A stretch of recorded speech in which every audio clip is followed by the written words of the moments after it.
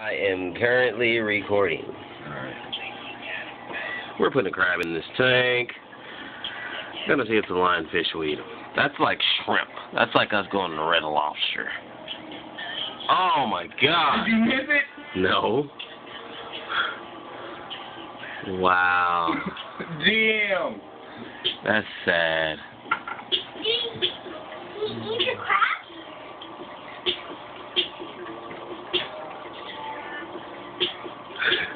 He got his antennas hanging out his mouth. Oh my god.